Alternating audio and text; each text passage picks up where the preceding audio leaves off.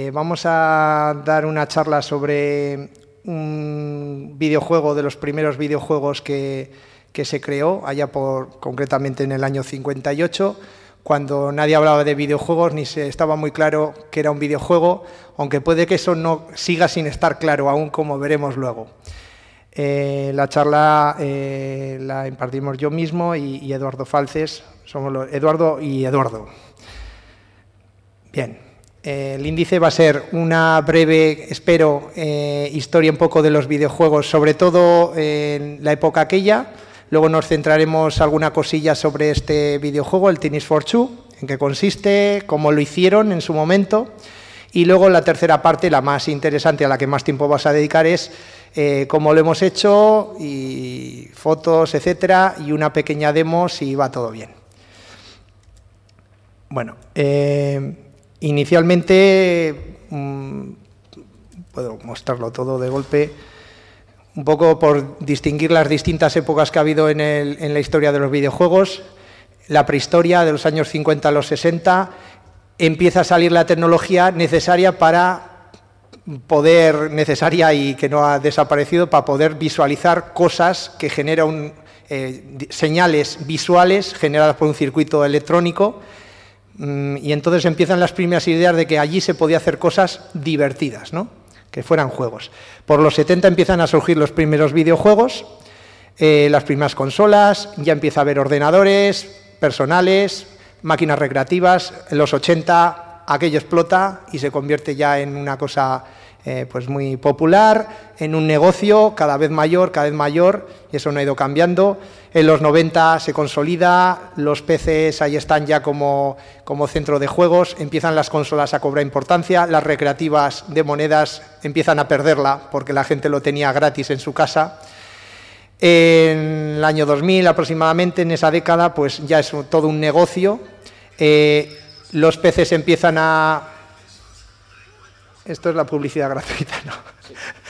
Eh, los peces empiezan a perder tirón como plataforma de videojuegos, eh, las consolas cada vez más, cada vez más, Internet empieza a entrar en el mundo de los videojuegos y en la, década, en la década pues un poco en la que estamos o la que acabamos de pasar, eh, las consolas claramente son las reinas en el mundo de los videojuegos, Internet mm, casi no se conciben videojuegos que no tengan algo que ver con Internet, descargarte por Internet, jugar por Internet y los peces siguen por ahí, ¿vale? Y esto no sabemos por dónde irá, ni nos interesa, porque nosotros nos vamos a centrar en la prehistoria. Por dar un poco más de detalle, sobre todo de esa parte, en estos primeros años salen los primeros videojuegos no comerciales, ¿vale? Uno de ellos el Tennis for Two, el que nos ocupa, y algún otro que vamos a ver posteriormente. Eh, mucha gente confunde el juego este Tennis for Two, tenis para dos, con, ah, sí, el clásico de las barritas. No, no, no. Ese fue en el 71 el Pong, ese es el Pong, bastante después y con una tecnología mm, mucho más moderna, ¿vale? Ya lo veis por ahí. Posteriormente vino, pues un poco lo que hemos dicho, que no me voy a entretener, los ordenadores domésticos, etcétera, donde ya los videojuegos eran videojuegos y colores y gráficos en alta resolución, incluso ya 3D, etcétera. Bueno, y todo este es la, la, época más, más conocida. No me voy a entretener más aquí tampoco. Ahí va, que me he pasado. Vamos a ver ahora un poco en detalle qué fue, cuáles fueron los primeros pasos. ¿vale? En el 47, que hace un rato de eso, eh, pues eh, surge la primera dato que se tiene de lo que pudo haber sido el primer videojuego. ¿vale? Alguien patentó, pues eh, unos señores ahí patentaron en el 47, tenéis ahí una copia de la, de la patente, que se podía jugar con un tubo y rayos catódicos, con una pantalla, algo parecido a dar con misiles en un blanco. Entonces, eh, como dice aquí, tenías una especie de plantilla, es decir, los blancos no estaban dibujados en la pantalla, tú ponías un cartoncillo, ¿vale? Y con unos potenciómetros era como que elegías con qué ángulo y con qué velocidad salía el misil. Ponías los cartoncillos, lo ponías en marcha y o pasaba la raya o no pasaba la raya por ahí. Bueno, y eso era bastante divertido, nos decían entonces.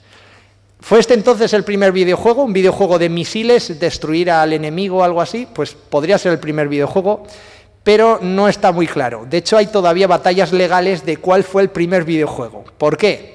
Pues porque el que se ponga la medalla de yo diseñé el primer videojuego, pues es algo importante para salir en las enciclopedias y todo eso. Lo que pasa es que hace tanto que ya se va muriendo la gente de entonces, ¿no? Y yo no sé en qué acabarán aquellas batallas legales, creo que nunca se resolverán. Para saber si eso era un videojuego o no, pues podemos recurrir a, a Wikipedia. Ahora que tenemos Wikipedia, en el 47 no lo tenían, Wikipedia nos da varias definiciones. Una de ellas es que es un juego electrónico que requiere de una interacción con una interfaz de usuario para generar una respuesta visual en un dispositivo de vídeo. Algo así como un chisme electrónico que interactúas con él, ¿no? Bueno, podemos estar bastante de acuerdo con eso. Otra definición es que es un programa informático creado para el entretenimiento en general, con la interacción de una o varias personas y un aparato electrónico. O sea, está claro que tiene que haber un aparato electrónico para tener videojuegos, ¿vale? Y hay otra definición que dice que es un tipo de juego digital interactivo con independencia de su soporte. Y aquí es donde surge la duda. ¿Algo, por ejemplo, como un ajedrez electrónico es un videojuego? Porque cumple todas esas definiciones. Es un chisme electrónico donde interactúas y hay una pantalla o algo donde él te da respuestas y tú sigues jugando. Y un Simón, ya sabéis eso de que pulsas lo de la música, ¿no? Que tienes que seguir una secuencia. Eso es un videojuego. A nadie, se le ha ocurrido decir que eso es un videojuego. Y es electrónico y tienes una pantalla. Entonces, no está muy claro es qué debe cumplir un videojuego para ser un videojuego. Quizá ahora nos estamos planteando esto y antes no se lo planteaban, ¿no? Entonces, un poco lo que pasaba con el, con el juego este es que, a pesar de que había pantalla, a pesar de que había electrónica y a pesar de que pretendía ser divertido, el apartado de vídeo no acababa de ser como estamos acostumbrados. ¿Qué más pasó por esa época? En el 51 surge una persona que se considera el padre, el pionero de toda la historia de los videojuegos, Ralph Baer. Este era uno de estos muy eh, creativo. Eh, lo tenemos aquí en la Segunda Guerra Mundial, lo tenemos pues en la época aquella del 51 y lo tenemos ya de más mayor. Eh, pues que este es también invento del Simón, del que hemos hablado. Entonces, a este le plantea a su jefe, que trabajaba en una empresa de televisiones, que se podía utilizar la televisión para tener un juego, jugar con la televisión. El jefe le dijo que aquello era una majadería y que aquello no tenía ningún futuro, un visionario. Y aquello se quedó allí en el 51. En el 52, por otro lado, alguien crea un 3 perdón, un, ¿cómo se llama esto? Un, 3 en raya, sí. Un 3 en raya que le llama OXO para un ordenador con el primer ordenador. O sea, sale el primer ordenador y ya están pensando en cómo podemos hacer un juego. Esto, para que veamos la, estrechez entre la informática y los videojuegos. Eh, entonces, bueno, se juega contra la máquina, ¿vale? Realmente lo harían como un ejemplo de para qué podía servir un ordenador, hasta dónde podría llegar. Lo que ocurre con esto es que la interacción con la pantalla pues era pues eso, ¿no? Siempre estabas viendo la partida. Esto se parecía mucho, digamos, a un ajedrez electrónico, ¿no? Donde lo que ves en la pantalla es la imagen de cómo está la partida. En el 58 a Willy Hindenbotham o como se diga, eh, se, le, ocurre pues hacer con otro ordenador eh, un juego de tenis, ¿vale? Que es el, que nos vamos a centrar, el Tennis for Two que lo hacen en dos semanas, ¿vale? Recordemos que aquí no existía el software, aquí era todo hardware. Si querías hacer algo era circuitos y circuitos y venga, no había nada más. Y así lo hicieron. Y era un ordenador analógico, ¿vale? Unido a un osciloscopio. El osciloscopio lo hemos traído aquí por si acaso. El ordenador analógico ha habido que apañarse. Eh, y es, pues, una imagen de la pista de tenis en horizontal con la red en medio y la bola bota. No hay marcador, no hay has ganado, no hay nada, es simplemente la interacción de controlar el rebote de la pelota con un osciloscopio y un botón para decir ahora le doy. ¿Vale? Luego lo vas a ver en más detalle. ¿Cuál es la gracia de este videojuego? ¿Es este el primer videojuego? No. Desde luego es el primer videojuego con imágenes en movimiento durante la partida. Y eso no lo cumplía ninguno de los anteriores. ¿Vale? Entonces, no sé si este es el primer videojuego o no, es desde luego de los primeros, pero sí que es el primero con imágenes en movimiento, algo que uno asocia muy rápidamente a un, videojuego. ¿no? Bien. Posteriormente salieron más, simplemente voy a ir rápido para que veáis cómo se aceleraron las cosas. Estábamos en el 58, en el 61, o sea, lo siguiente al Tennis for Two eh, se hace en, los laboratorios MIT eh, con un PDP-1, dos naves simulando gravedad alrededor de una estrella. Eh, esta estrella era un sol que atraía las naves entonces, con movimientos de inercia, simulando gravedad, se disparaban y se tenían que destruir. ¿Vale? Esto se le ocurrió a la gente del MIT. Se le ocurre a Rathbard, el que le dijo a su jefe que aquello de las televisiones no tenía nada que hacer, monta una empresa y, el cabezolón dijo, pues como no lo hago con mi empresa, pues lo hago yo por mi cuenta. Y trabaja en esa idea de hacer un videojuego para televisión. Concretamente un punto que perseguía otro, era el videojuego. Eh, y en el 68, al séptimo intento de crear una especie de consola, saca lo que se viene a llamar la caja marrón, que es esa cosa que tenéis a la derecha. Bueno, venía la caja marrón con los dos mandos, que son las otras cajas marrones que hay a la derecha más pequeñas, y se hace incluso un rifle que, vamos, una pistola óptica. Lo inventó también el Raspberry. Esto es para que veáis cómo era por dentro la consola, pues lámparas de vacío, cables y componentes básicos, porque entre otras cosas no había chips, por supuesto. ¿Vale? Ya no hablemos de microprocesadores, no había ni chips. Pues ahí tuvieron que cablear un rato. Y el Raspberry, pues eso, lo pongo por ahí también. La pistola óptica se inventó en esta época, en el 60 y tantos, y el Simón en el 78. ¿vale? Bueno, en, los 70 ya empieza esto a, lanzarse, se crea la primera máquina recreativa, solo hay una unidad en la Universidad de Stanford y eh, funciona por monedas. O sea, enseguida se ocurrió que de ahí se podía sacar negocio y eran en realidad dos máquinas unidas, las tenéis aquí a la derecha, dos máquinas unidas, replicadas y unidas por un cable, ¿vale? Y podía jugar uno contra otro, pero cada uno en su consola, ¿vale? Cada uno con su maquinón. Eh, y básicamente era el juego de Space War, ese, de las dos naves que se tenían que destruir alrededor de un sol. Luego en el 71 también sale Computer Space, que también era una nave que tenía que destruir a otra. Ya veis que era un poco monotemático esto, el tema de los marcianos, la Guerra Fría, todo estaba afectando aquí, creo yo. Entonces se crea la primera recreativa comercial, que es esta que tenéis aquí. Venía sin chica, ¿eh? era solo la máquina recreativa. Por monedas, 1.500 unidades, inspirada en Space Wars, una nave contra dos platillos, pero solo para un jugador. Los platillos controlados por el ordenador, por la máquina, ¿vale? Y lo creó Nolan Bushnell, otro nombre clave, ¿vale? En una empresa de un nombre impronunciable, que posteriormente luego cambia a otra más pronunciable en el 72, Atari, ¿vale? Y comienza realmente Atari es la que lanza la industria del videojuego, ¿vale? Eh, de la caja marrón eh, mm, ya saca licencia a la Brombox eh, para Magnavox y sale la primera consola comercial que es la, Magnavox Odyssey. De hecho, la tuvimos en una exposición hace tres años, me parece, eh, aquí en, en Retromanía. Eh, se vendía por 100 dólares y se vendieron bastantes. Era con cartuchos, era muy parecido en esencia como son, han sido las consolas hasta hace poco. Por su parte, Raspberry de Atari saca el Pong, ¿vale? Programa el Pong y lo saca en versión, aparte de, recreativa, pues en consola, ¿vale? Y a partir de aquí ya empieza todo, ahí tenemos una foto de Raspberry de la época, salen muchas clónicas de esa recreativa, ya sabemos todos, todos los que hemos sido chavales en los 70, tenía todo el mundo una clónica que jugaba pues, a varios juegos, todos eran de rayas y pelotas, y todo, todo eso se controlaba con un chip porque ya había chips, ¿vale?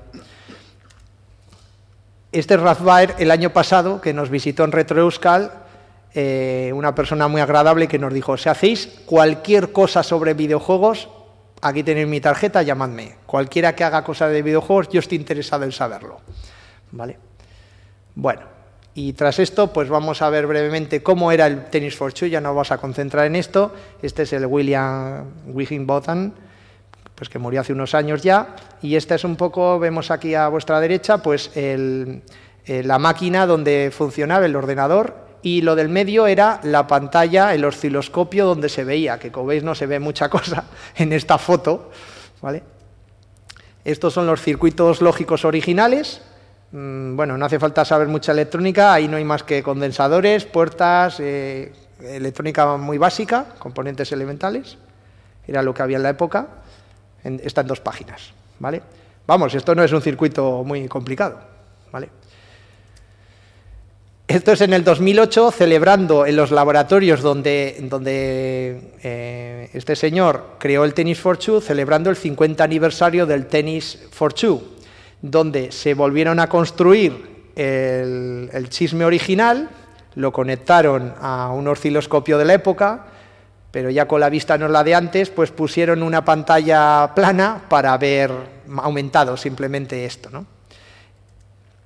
Aquí tenemos gente que participó en el proyecto, o sea, la idea la pensó este señor, William Hiddenbotham, y la hizo el diseño hardware, lo hicieron otros, y estos son pues un poco este, por ejemplo, es el hijo del, que, ideó el juego, con las dos páginas del esquema que hemos visto antes, y estos son gente también pues, que estaba, eran muy jóvenes o que son hijos, ya no, recuerdo bien. Y aquí tenéis, por ejemplo, esto supongo que es el tenis for two jugando por gente más joven, ¿no? se tendría que titular la foto. Lo he puesto más que nada para que veáis desde arriba un poco la pinta que tiene aquello. ¿no?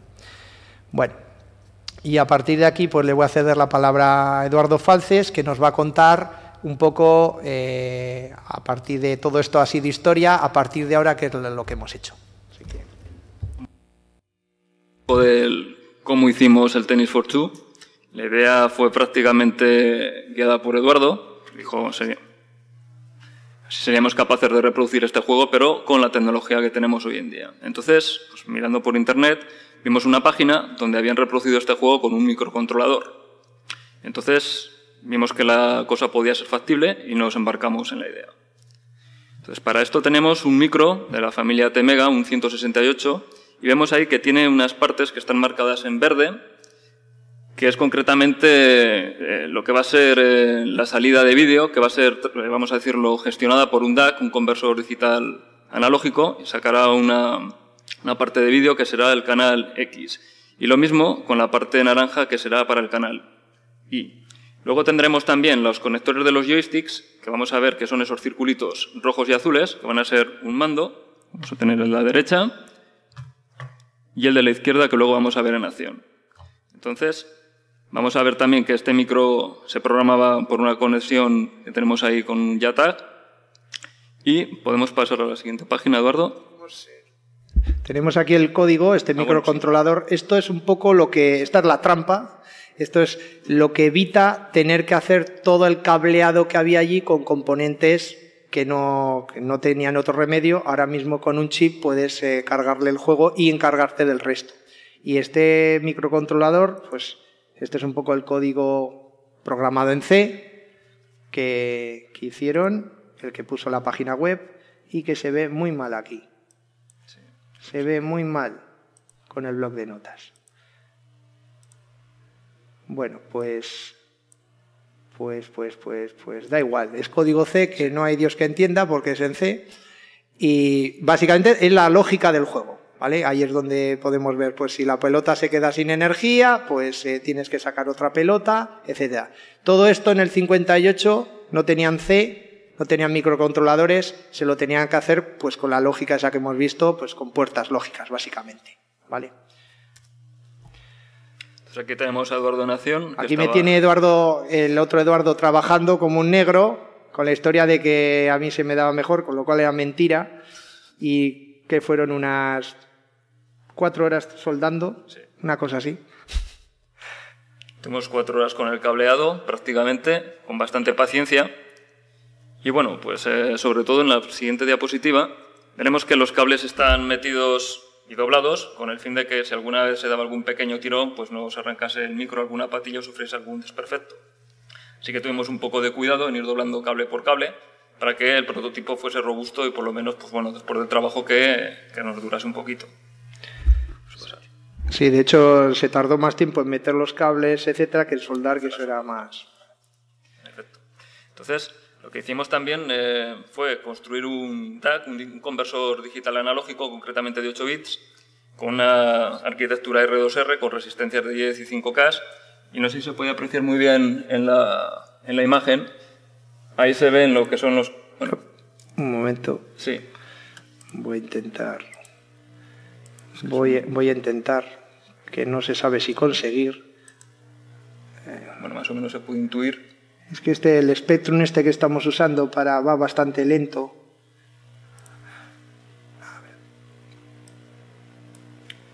Se puede ver arriba el DAC que va a gestionar concretamente la salida de vídeo, concretamente el canal X, y la de abajo que está sin comentar, pues dará como resultado el, el canal Y. Ahí se puede apreciar, salida X, y arriba se pueden ver los 8 bits que van a ir directamente al micro. Ahí se ve esa maraña del cable, de cables, y se ve precisamente que van así. Pues es un bit para cada entrada, ahí está el DAC y la salida que está marcada como AUTX y análogamente abajo sería la salida para ahí. Concretamente los otros bits de entrada irían ahí, lo que pasa que en la parte de abajo no se aprecian muy bien. Están los cables por encima. Eh, en, en, pocas palabras, se trata de que el microcontrolador, por supuesto es un chisme digital, está dando dónde hay que pintar las cosas en digital, pero la pantalla es analógica. Hay que meter dos señales, dos voltajes. Eso es un poco lo que hace el DAC. La verdad, no entendemos muy bien por qué está diseñado el DAC, sí, pero por qué está diseñado así, pues lo sabrá el que lo ha hecho. A mí esto de usar un osciloscopio no es la primera vez que lo hago. Pero de aquí a tener aquí el, el Windows, yo creo que hay poco, si no lo curramos un poco. Bueno, ese es el proceso de construcción, que fue un poco laborioso, más bien colocar todas las, todo lo que son las resistencias así en, en R2R.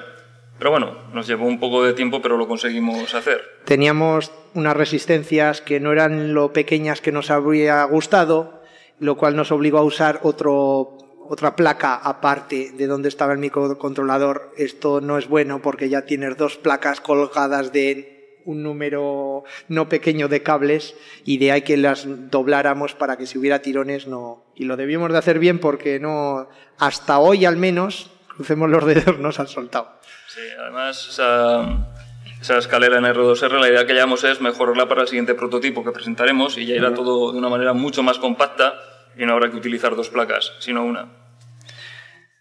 Ahí tenemos a Eduardo, que bueno, estaba ahí intentando hacer la primera prueba con el sistema, ya está todo lo que es el micro, el micro cableado con el DAC, y hay un joystick improvisado que no sé si se aprecia muy bien. No se ve muy bien. Es un potenciómetro soldado a un botón y unos cables soldados a la placa provisionalmente. Sí. Y ahí tampoco se aprecia muy bien, pero estamos utilizando una fuente de PC, concretamente sí. estamos utilizando 5 voltios y teníamos en la mesa, bueno, pues casi que daba, daba miedo acercarse ahí. Tenemos aquí unos pequeños vídeos de el primer intento que, bueno, si hay segundo intento os podéis imaginar que no funciona la primera.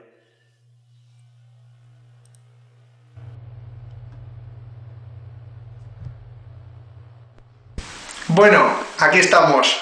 30 de, de, abril del 2011. Vamos a hacer, eh, poner en marcha aquí el Tennis for Two, a ver si nos sale. Encendemos el osciloscopio. A ver si sale aquí algo. Ahora la fuente... Esto había que darle a algún lado. Sí, pero la fuente de alimentación del PC también. Sí, pero aquí no salen las rayitas todavía. Aquí, vale. Aquí las rayitas. Bien, y ahora vamos a enchufar eh, la fuente de alimentación del PC, a ver si pasa algo.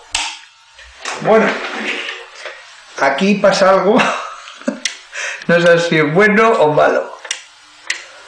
Vamos a ver.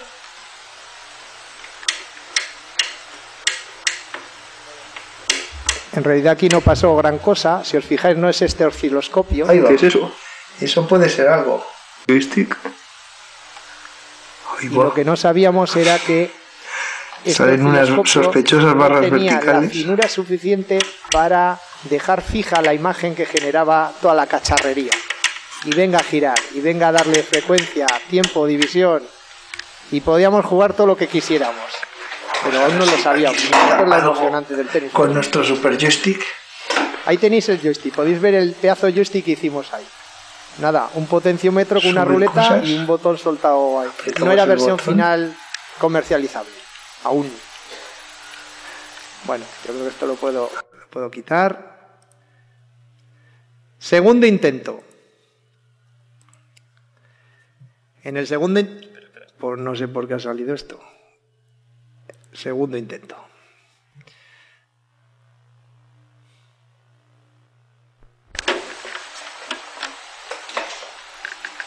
A ver. Ay, que así que, que deje rastro. eh, hay que darle al joystick. Sí, muévelo. Ya había algo que El botaba. joystick. Nos faltaba la pista. A ver, ¿por qué no se mueve en horizontal esto? Como esté esperando que saque el otro. Mira, mira, algo es. Sí, sí, sí, sí. Algo ha Si respondido. llegamos a saber que le íbamos a presentar, habríamos dicho algo más inteligente, pero Sí, ¿ves? Eso es que has fallado. Sale, le falta la. ¿Sabes? Le falta la, la X. Y va bota- ¿Te das cuenta que se va quedando de botes plin, plin, plin, plin? Sí, sí, sí, sí, es como que has fallado. Tener en cuenta que lo que queríamos probar era Y ahora si sale todas más las alto. soldaduras, conexiones que habíamos hecho durante toda la mañana y parte de la tarde, nos habíamos equivocado en algo. Este es el suelo. Sí. Lo último que sospechábamos era Pero parece como que no tenemos la señal. ¿vale? Eh. Bueno, y a la tercera fue la vencida. Eh, no sé cómo, ya de hecho lo dejamos, se fue Eduardo a su casa y yo, y yo no sé por qué, digo, voy a probar con otro osciloscopio, que es este de aquí. Lo robé, entre comillas, de uno de los laboratorios de- del departamento y este tenía un botón que se llamaba XY que por lo visto era, porque he de decir que eh, nosotros seguimos las instrucciones que venían en la página web, pero no eran muy detalladas. Por ejemplo, no hablaba nada de cómo acabar viendo todo aquello en el osciloscopio, ¿vale? Pues resulta que había que pulsar el botón XY para que combinara lo que venía de la señal X y lo que venía de la señal Y de dos canales de entrada para tener algo mejor. Y bueno, esta es una foto que tiré por la webcam aquella misma noche para mandarle a Eduardo y decirle, "Ch, cuidado que aquí ya sale la pista y la bola y que ya lo tenemos, ¿vale? Y solo era el botoncito XY. Afortunadamente no nos pusimos a revisar toda la circuitería por si nos habíamos equivocado, porque sabíamos que habría sido difícil que nos equivocáramos nosotros con el cuidado que habíamos puesto. Bueno, entonces ahora un poco lo que vamos a ver es, eh, una vez que funcionaba, vamos a dejarlo bien, ¿vale? A punto casi de comercializarlo. Pues Sí. continúa si quieres. Los pasos que ya teníamos que seguir era dejarlo pues mucho más compacto, eh, hacer los joysticks ya en condiciones, mejorar lo que era la alimentación, porque claro, estar con una fuente de PC pues era bastante engorroso. Y también pues eh, estábamos eh, pensando en que claro, los cables tal cual los teníamos, sobre todo lo que era el tema del vídeo, al estar soldados a la placa era bastante incómodo. Así que ya eh, decidimos utilizar cables para poder pulsar, o sea, para poder pinchar y retirar fácilmente, que nosotros llamamos plug and play. Entonces, aquí ya vino pues un poco la discusión de qué podíamos utilizar. Estaba claro que en la parte del osciloscopio necesitábamos eh, conectores BNC, pero claro, después teníamos eh, la duda de qué utilizar en el otro lado. ¿Utilizamos bien cables RCA o mini jacks eh, mono? Entonces, al final, pues bueno, pues estábamos dándole vueltas al tema y También estaba el tema de los mandos. Sí. Claro, ahí había unos cuantos cables y de momento están soldados, pero queríamos que fuera un poco transportable. Si no, no veáis cómo tendría que haber hecho para traerlo ahora. Los mandos podían ir conexión directa, directamente soldado, esto lo rechazamos por USB, pero lo rechazamos eh, por demasiado moderno. Aunque al fin y al cabo son cables, ¿no? Pero bueno, parece que... Y podíamos usar conectores PS2 o DB9 de los típicos de joysticks de entonces o de, de puertos serie. Pero el problema de todo esto, de todo esto era que usáramos lo que usáramos, eh, cómo fijamos luego eso a la caja que buscáramos para ponerlo. No, no es sencillo, porque aquí eh, luego hay que, hay que apretar y que no se arranque todo, ¿vale? Además son cuatro conectores más aparte la alimentación, entonces teníamos que buscar pues algo que fuese un tanto compacto y que diese un poco de estabilidad a lo que podíamos montar en la caja. Y entonces, pues barajando, afortunadamente estábamos en el archivo del, del Museo de Informática Histórica, donde está lleno de chismes, y paseando por allí por si veíamos algo que nos venía la inspiración, y vino. Y vino la inspiración porque me acordé que hay algunos cacharros que tienen muchos conectores hembra, mm, concretamente de mini jack. Las tarjetas de sonido.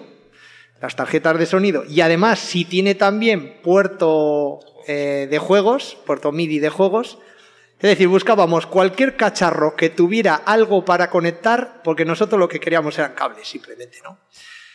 Y esta tarjeta que la teníamos defectuosa, eh, entre otras que tenemos por allí, pues lo podíamos eh, aprovechar. Entonces la reciclamos, la reciclamos a lo bestia y aunque daba un poco de repelús, pues la pusimos ahí en el torno y dale que dale a la sierra, pues hasta quedarnos con la parte de los conectores que era lo único que nos interesaba de la tarjeta de sonido. Esto reconozco, yo me sigo sintiendo culpable, ¿vale? Ese pedazo de tarjeta de sonido, pues que al final solo nos interesen los conectores. Pero bueno, no funcionaba y tenemos más, ¿vale? Si no, ya la arreglaremos con celo si alguna vez. Y, y bueno, después de cortarla, eh, hubo que pulirla un poco, no, no, no tratamos muy bien a la tarjeta de sonido, la verdad. Vale, vale. Y más cosas que le tuvimos que hacer luego. Bueno. A ver. Y también nos hacía falta un conector hembra para la alimentación, que queríamos que la caja donde estuviera todo fuera no, no saliera ningún cable, tuviera conectores para todo, como debe ser una consola que Dios manda, ¿no? Entonces reciclamos también el conector de alimentación de una consola Master System 2 que tampoco funcionaba. ¿eh? Y que de hecho me encontré tirada en el rastro un domingo. Eh, y pues un poco más de sierra y ya teníamos el trocito de plaquita donde le podíamos hacer agujeros para atornillar a la caja y que quedara bien fijo. Sí, luego entramos ya con el diseño de los mandos. Ahí podemos apreciar el esquemático de lo que sería la resistencia variable y lo que era el botón, eh, el pulsador y todo el material que compramos para la mecanización de, la caja. Ahí se puede ver en la fotografía de la parte derecha cómo corresponde el esquemático con los componentes que habíamos puesto. Las señales de alimentación, las señales de masa, la resistencia en pull-up y bueno, pues se puede ver que obedece ese esquemático para su funcionamiento. las instrucciones de la web no decían, no decían eh, aquí teníamos tres conectores en el potenciómetro y está claro que el esquema es este, pero lo que no nos decían era si debíamos de conectar aquí o aquí, eh, la, o sea, esto es donde lo podíamos invertir tranquilamente, no había instrucciones, dijimos, bueno, lo ponemos aquí a ver qué pasa. Como luego veremos, eh, no atinamos, ¿vale? Sí, podemos ver eh, una perspectiva de lo que es la mecanización de la caja. Tuvimos que hacer también un nudo para que no sufriese de tirones.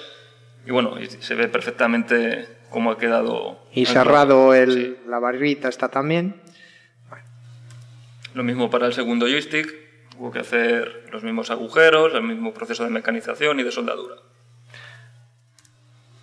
Y ahí pues ya vino la construcción del macrocable que tenemos por aquí, donde ya decidimos pues eh, aglutinar lo que son los dos joysticks y utilizar lo que es el conector de la tarjeta de sonido y ahí ya pasábamos las dos señales. Que también podíamos haberlo comprado, pero ¿por qué comprarlo si lo puedes, si tenemos allí chatarra tecnológica de todo tipo? Entonces, ¿qué hicimos? Pues tras un arduo proceso de seleccionar un joystick de PC con el conector eh, de joystick eh, adecuado, pues elegimos el que menos nos gustaba de los que había por allí. Mm, se habían comprado un euro también en el rastro, aquí todos se ha comprado un euro en el rastro. Eh, y cortamos el cable, aprovechamos la manguera que tenía, nos hacía falta seis cables, seis señales. De hecho, estuvimos, creíamos que nos hacía falta ocho, pero en realidad, claro, el voltaje y la, y la masa es, es común a los dos mandos y de seis cables, pues un joystick sí que nos valía un joystick que tuviera abajo, derecha, izquierda, botones y algo más para que tuviera más, al menos seis cables. Y esto se llevó pues al, al, conector hembra de la tarjeta de audio mutilada. Eh, pues llevamos las señales cada una a donde nos dio la gana, pero siempre que estuviera conectada Tuvimos que testear muy bien dónde iba cada cable, eh, porque estábamos usando un cable de joystick a un conector de joystick y no iban las cosas donde nosotros queríamos. Fue al revés. Nosotros las conectábamos donde había conectividad.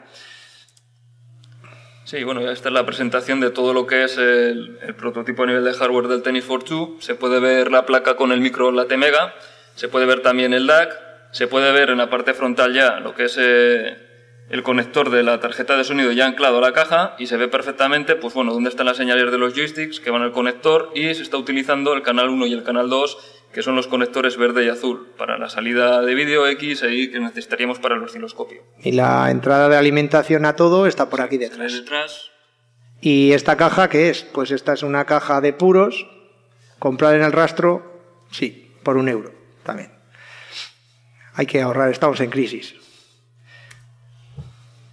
Bueno, aquí ya tenemos el prototipo presentado. Está la caja ya conectada con los cables de vídeo que van directamente al osciloscopio, el canal X y el canal Y, que es el canal 1 y el canal 2 en este caso, y los dos joysticks están ya unidos por el único cable que va directamente al conector del joystick. Y en la parte posterior ya tenemos la alimentación de los 5 voltios necesarios para alimentar eh, todo el circuito.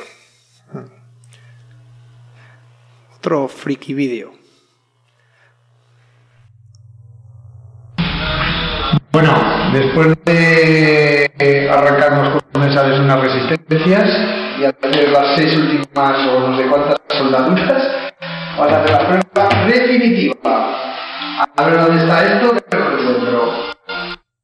Se oye un poco mal esto. Eh, arrancarnos con esa de unas resistencias y hacer las seis últimas o no sé cuántas soldaduras. Probablemente no estoy diciendo nada. definitiva. A ver dónde está esto, que no lo encuentro. A ver, enfoquemos la pantalla a ver si sale el tenis o no sale. Pues hemos debido de cambiar los canales y no se mueve la pelota. Eso es bueno o es malo. La pelota no se movía y la pista se había puesto boca arriba. ¿Por qué no se mueve aquí nada? Sí, se mueve, hombre. Pasa que está puesto, te han cambiado los canales, los canales? dos. Sí. Hay que cambiar las etiquetas, pero nada más.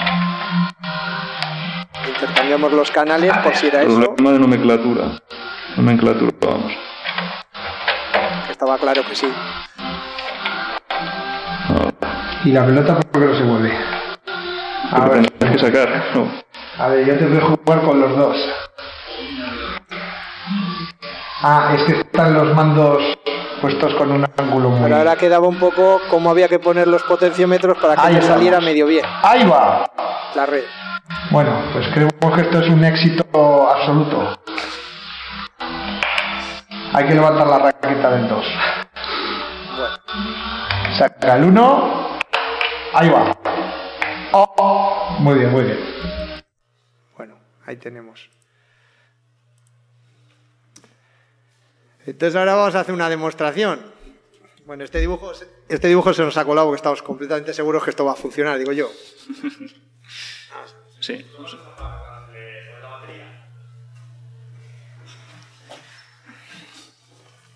Vamos a ver. Sí, vamos a poner unos cablecitos. Los cables, a ver, por aquí, Ahora que están los de vídeo.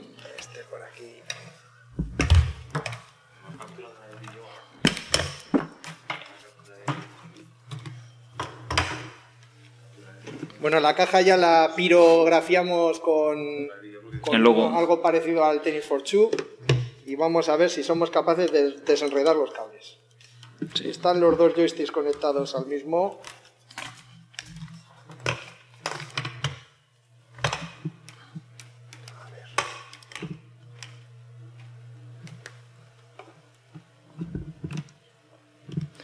Hay que acercar más la caja para que llegue al osciloscopio. Lo que son las señales.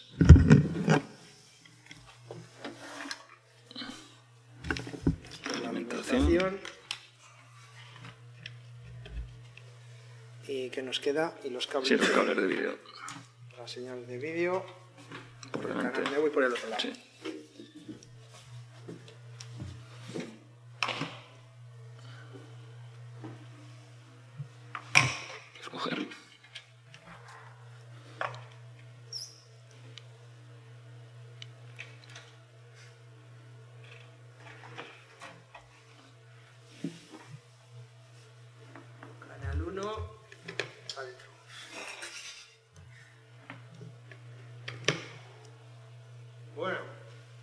Botón on-off. Así que. eh, ¿Este estaba enchufado o no? Conectado.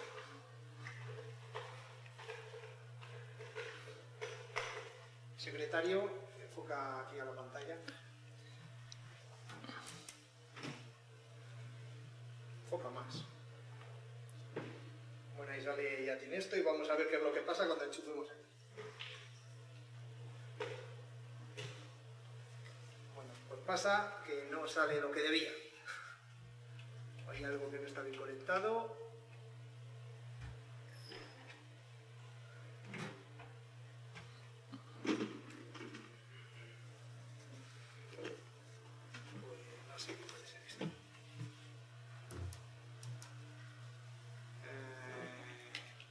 Mira, la pelota ha caído.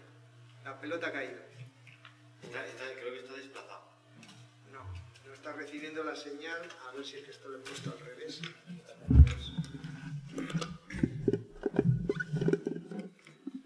Efectivamente. No. Pues no sé qué puede ser esto. Eh, Pero mira la pelota, ¿eh? Si le- si Sí, sí, sí, está solo recibiendo señal en vertical. Es como si el eje X, no, otra vez el eje X, dichoso. Pues no sé qué podemos hacer, porque aquí hay poco que hacer. Pulsador X y Edu. Está pulsado el X, sí. Si lo despulsamos, pues os ha soltado algo trayéndolo aquí, que eso es muy posible. O... A ver, enfoca, enfoca ahí. No, eso está bien. Observar. Nada suelto. Ya, sa- ya sabía yo que esta imagen había que ponerla por si acaso. ¿Te ha salido algo bien en tu vida? Conocerte a ti. No lo sé. Pues no sé yo tampoco qué será. Eh, Pues vaya. Como no sea, no, porque no sé qué puede ser. Al osciloscopio no hay que tocarle nada. No. Bien. No. No, no, no. De hecho está la imagen fija. A ver, la X, tú no te acuerdas si esta era la X o la Y o cuál era. Sí, este es el canal. Tenemos A serigrafía. ver si vemos algo suelto. Canal 1 canal 2. No, no, no, ahí no creo que se haya soltado nada. El cable de los mandos no tiene nada que ¿Habéis ver. apretado por aquí algo sin querer? No, algún yo no he apretado nada. Yo solo toco el botón XY y está pulsado, que es como porque si no, no no mezclas la señal. Sí, Entonces esto es claramente lo de vídeo, pero vete a saber algún cable de estos. No, no, no están sueltos. No están sueltos. Eh, los cables tampoco Hmm. han sufrido. cuando nos salió, eh, hemos visto un vídeo donde estaba solo en vertical, exactamente lo mismo que aquí. ¿Y, y cómo lo solucionamos? ¿Tenemos que ver el vídeo o qué? Yo voy a poner el vídeo. Oye, que igual está grabado aquí. Sí, Sí. pero no. Sí. No, este es el canal uno cables, y este es el se canal dos, pone está así, bien. Porque cambias la X por la Y. Exactamente, haces una permutación de los ejes. Pero eso no es lo que tienes aquí. Yo no sé si esto es el caso, ¿eh? No, pero están ya serigrafiadas. Bueno, después de seis últimas pues vemos la pantalla a ver si sale. A ver, esto que nos resuelve. Definitivas. Vamos a hacer la prueba definitiva. A ver, Pues no sé realmente qué puede ser esto. No, es que la que está bien, no hay nada suelto. Esto es lo del directo, es, es eso seguro, ¿no? Pero concretamente qué. La señal, algo de. Suelta solo uno. Y algo de que la señal de aquí no, pues, no tiene nada que ver, ¿no? No, Con los mandos. es este de aquí. Este de la X. Ahí la leche. Pues. Pues no sé realmente qué puede ser. ¿Se te ocurre algo? No, la electrónica parece que está bien. Si no lo medimos, si vamos midiendo todo así poco a poco. Mm, Esto está bien. Sí, sí, está todo. Es que los cables no tienen, no tienen ningún Los problema. mandos, ¿dónde están? Que no los veo. Aquí. Pues no sé qué puede ser. cambia nada. Sí, yo también tenía ganas de enseñarlo. Vamos a ver, esta imagen, esta solo la... Joder, pues, no sé qué puede ser, no sé qué puede ser. Hemos visto un vídeo donde estaba solo en... Es que no era este, era antes. Bueno, después de... Creo que era el vídeo de. eh, El a, la, a la segunda. El segundo intento, sí, que luego acaba funcionando. Pues eso era algo de... Ahí. A ver, hombre. Aquí solo se tocó el osciloscopio. Del segundo al tercer intento. Es que además los cables están bien. A ver. Ay, que así que que deje rastro. eh, hay que darle al joystick. Sí, muévelo. El joystick. ahora? A ver, ¿por qué no se mueve en horizontal? Sí, cuenta que se va quedando ahí abajo. este es el suelo. Sí. Pero parece como que no tenemos la señal.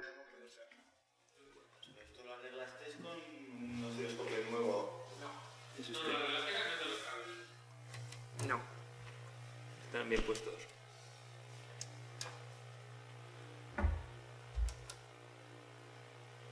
Este tiene que estar pulsado.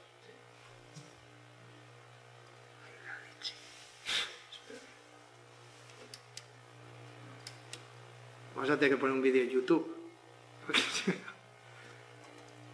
De todas maneras, pues, eh, No, no, no, no, no, no.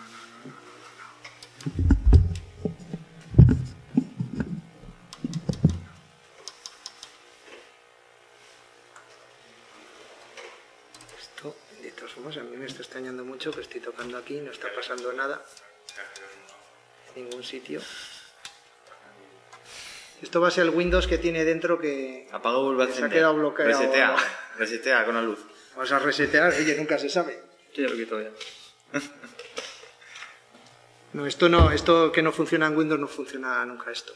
Pues, pues, pues no lo sé, pues no lo sé. Es que no sé ni.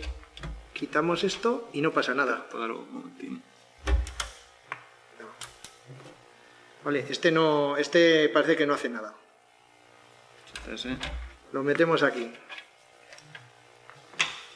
Ahí debería salir el. Y ahora lo va a hacer lo mismo. Cambia- cambiar cable no sea cosa se haya fastidiado, a lo mejor al doblarlo. Este, este, prefiero. Cambiar la conexión. Que lo Como, cambie si, que quiere como si este no funcionase. Ah, vale. y ponlo en su lugar.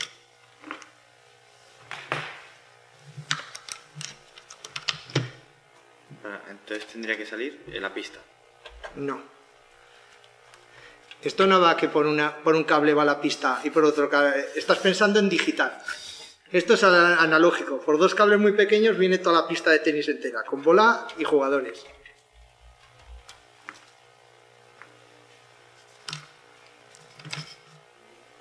Mm, ¿Te gusta más así? No, no. No, no.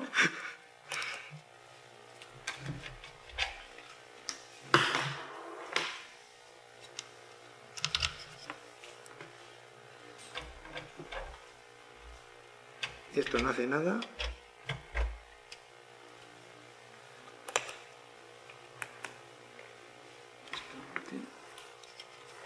No.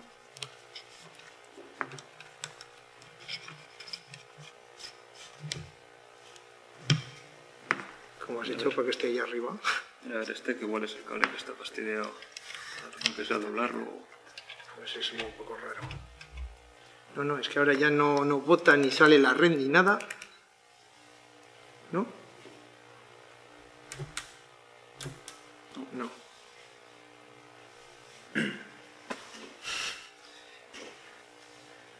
No tenemos ni idea qué pasa. No, ahora mismo no está haciendo nada. No, no le está pasando nada. Porque esto lo dejaríamos aquí bien, claro. Sí, sí. Ahora no sale ni la pista, ni bota, ni nada de nada. O sea, esto tiene la pinta como que está muerto del todo. Este es el 1. Este se supone que la conexión así correcta. Solo cambia la posición. Sí, sí. Bueno, pues no sé. No va.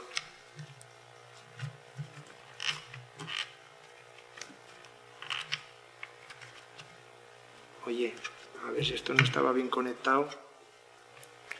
No, Ahora está como al principio. cámbialo. Mm. ¿Será el alargador? No puede ser. Es que has visto que al apretar ahí... Así es como estamos al comienzo. Y seguimos. Este es el vertical. Y este es el que no hace nada. Sí, yo creo que el cable a lo mejor se ha fastidiado o le habrá pasado algo. Vale, este es el vertical.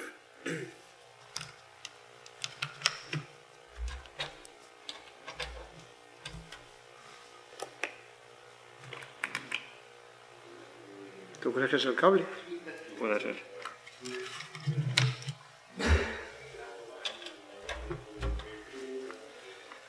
Mi intercambio pasa lo mismo, mira. No es el cable. Si no es el cable, ¿qué es?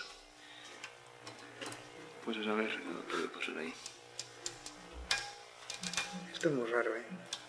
Que yo esté tocando aquí no pase nada. Dale al botón. Eh, Sí, responde, responde.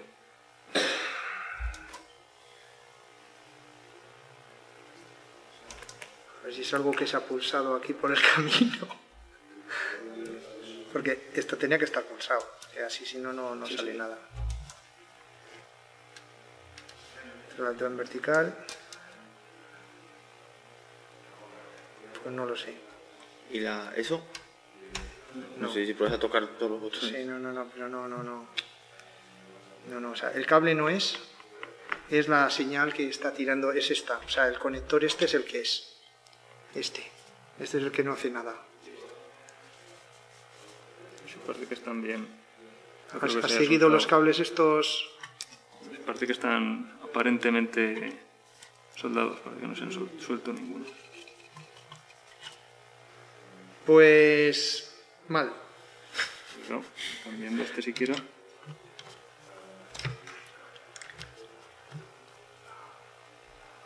Que yo creo que tiene pinta de ser el A cable. ver si están cruzados. Creo que es. A ver. Creo que es el cable que está mal. Pues es la. ¿Crees que es el cable que está mal? Sí, puedo intentar corregir, pero creo que sí. Porque el micro responde, hace la simulación está. cuando le pulsas. Ahora, Este- ahora tendría que ser al revés, ¿no? Este, vamos a ver, este cable está bien. Sí, y este es el que no. Este es el que debe estar mal. Sí. Igual se ha soltado algún. Este Por es el que. Uy, este es el que le puse Tiene la cabeza cinta aislante. Mira, mira. A ver. Este es el que le pusiste cinta aislante a este. Sí, pues a ver si va a ser eso. Un poquito. Hace mentir un cable lo que puede hacer. Suéltalo un momentín. Vamos a ver si se ha suelto. Ábrelo ahora. Con lo bonito que es lo digital.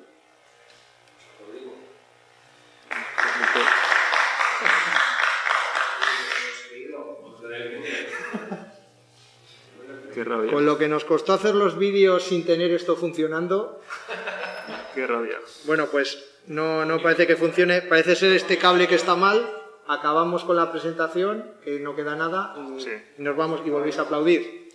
Debe estar este cable mal, pues que le ha dado por romperse ahora. El año que viene en 3D.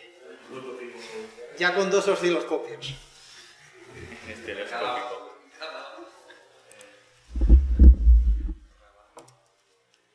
Y si es posible lo hacemos en inalámbrico para que no fallen las conexiones.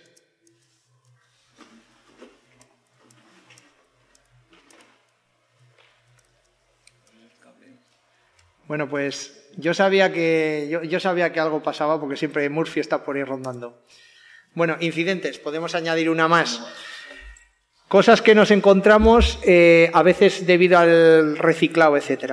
Eh, los, ¿Os acordáis que os dije que los potenciómetros tienen tres patitas? Está claro que una es el que te va a medir la resistencia desde la entrada hasta la salida del medio, que es la que regula el potenciómetro.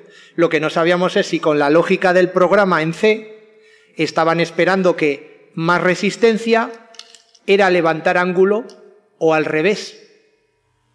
Pues depende cómo lo hubieran programado, evidentemente.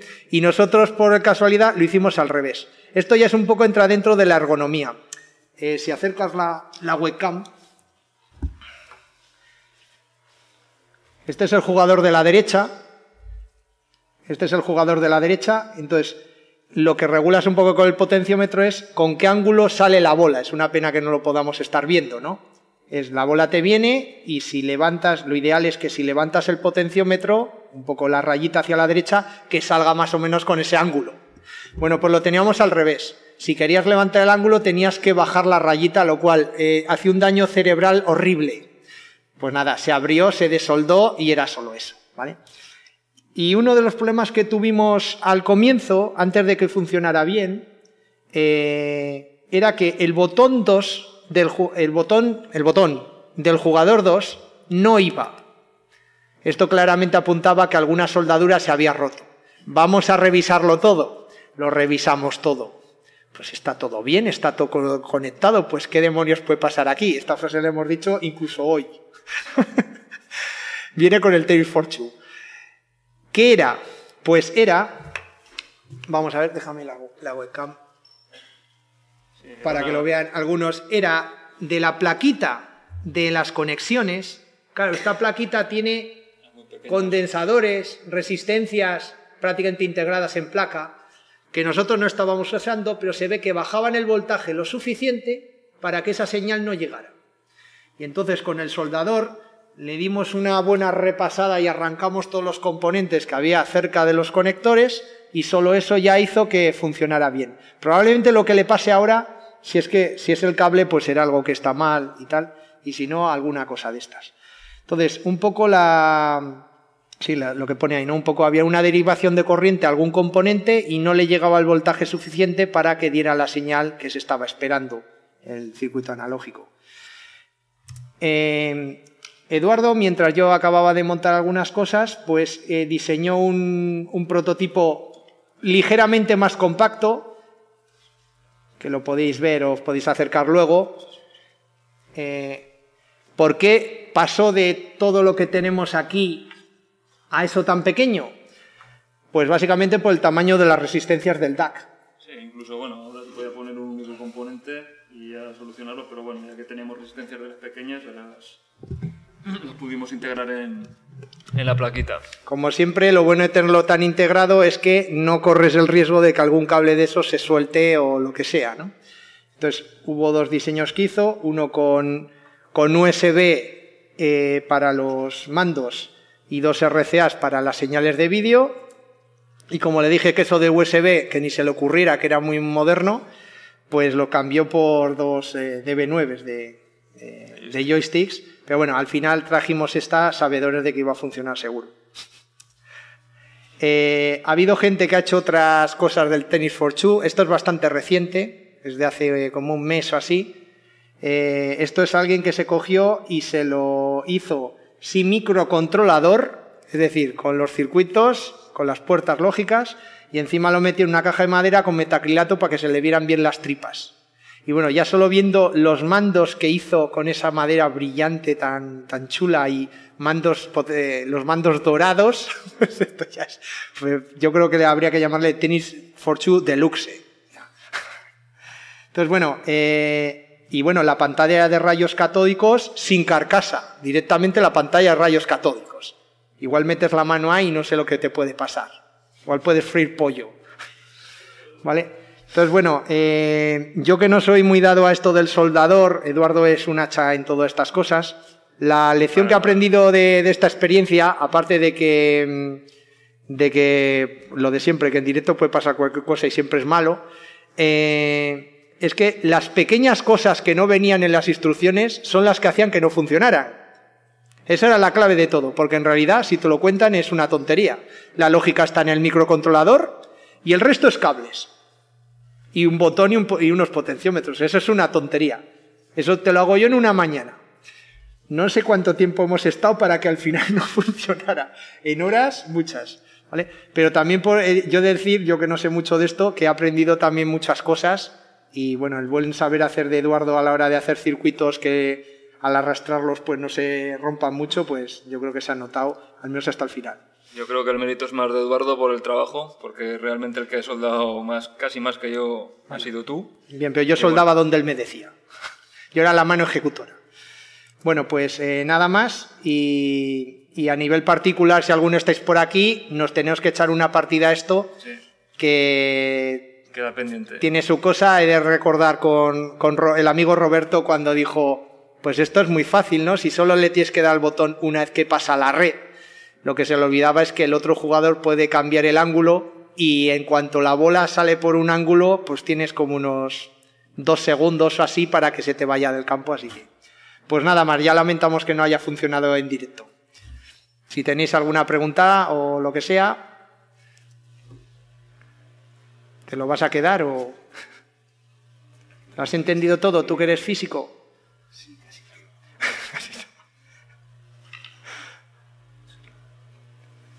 ¿Tienes alguna pregunta o alguna...? Sí. Es, es que es, es tarifa plana. Es todo un euro. Te puedes comprar el osciloscopio por un euro y la caja de puros por un euro. No, es que ahora con la crisis menos de un euro ya es difícil. ¿Nada más? Bueno, pues muchas gracias por haber venido.